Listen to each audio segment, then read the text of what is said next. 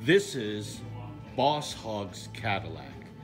How many of you guys followed the Dukes of Hazzard in the 80s? This is like Boss Hogg's Cadillac. 1976 Cadillac Eldorado convertible. Check this out. 4,535 original miles. Take the Cadillac logo off, put the horns there, and it will be truly Boss Hogg's Cadillac.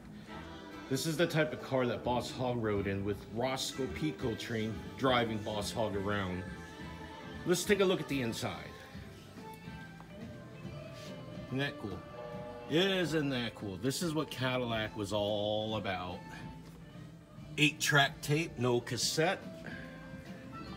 Puffy leather.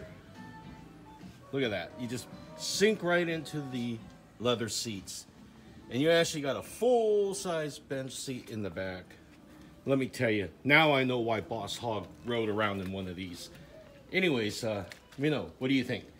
You think these Cadillac Eldorados are cool? Thanks for watching. Take care.